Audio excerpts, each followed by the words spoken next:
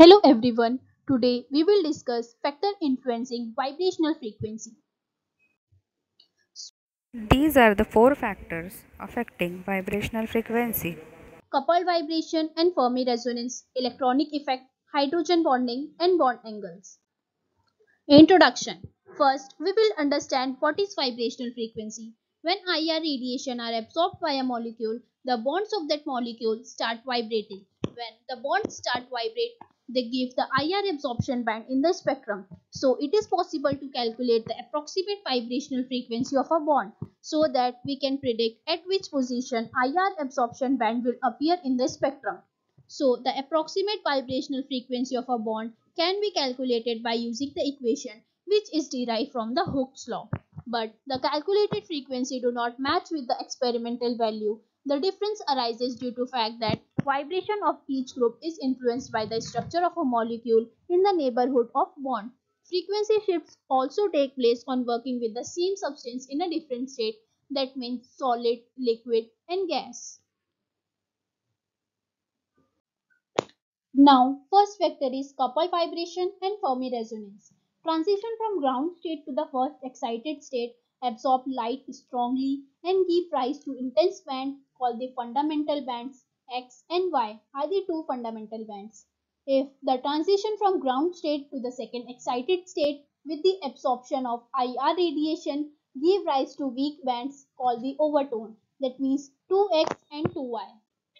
When two vibrational frequencies in a molecule couple to give rise to a vibration of a new frequency within a molecule and when such vibration is IR active it is called as combination band. Not all possible combinations occur. Some combinations are x plus y, x plus 2y, 2x plus y and etc. Now coming to the difference band. Observed frequency in these cases results from the difference between the two interacting bands such as x minus y, x minus 2y, 2y minus x.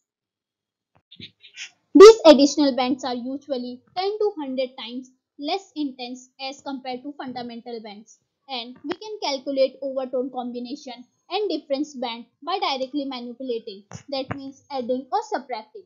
When a fundamental vibration coupled with the overtone or combination band, the coupled vibration is called Fermi. Next, we will see electronic effect.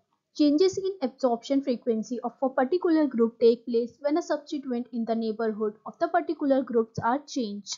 Under the influence of this effect, the force constant or the bond strength changes and its absorption frequency shifts from the normal value. Electronic effect is due to the inductive effect. There are two types of inductive effect, positive inductive effect and negative inductive effect. The introduction of alkyl group causes a positive inductive effect. This results in lengthening or weakening of bond and hence force constant is lower and wave number of absorbance decreases.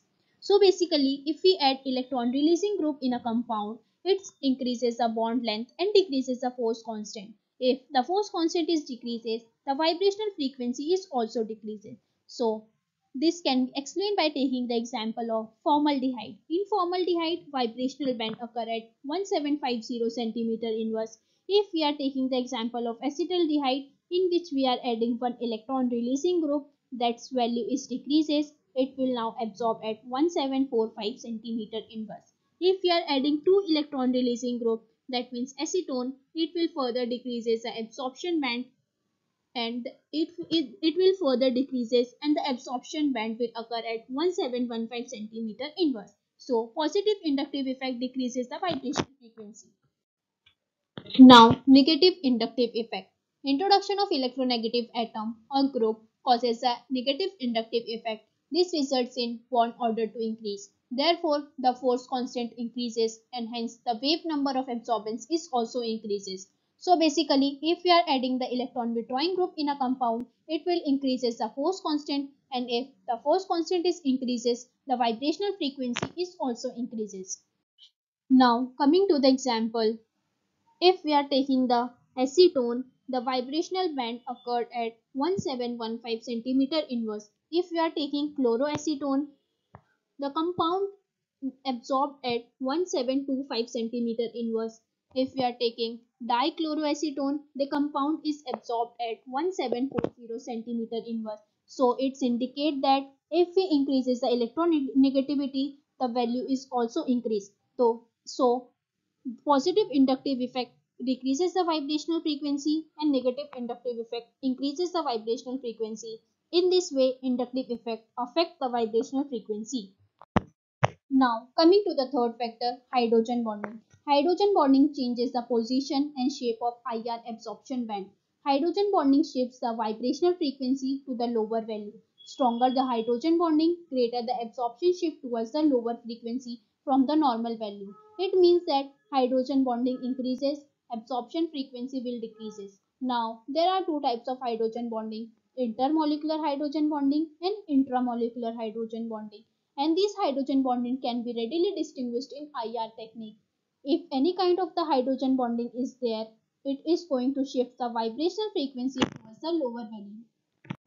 Now, we will take the example of hydrogen bonding.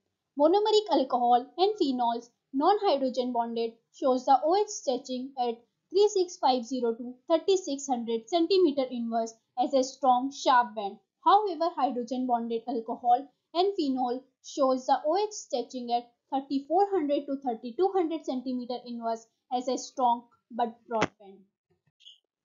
Now, next factor is bond angles. Lesser bond angles, example, lesser than 120 degree causes peak to appear at higher frequency. In case the bond angle is pushed outward 120 degree, the opposite effect operates.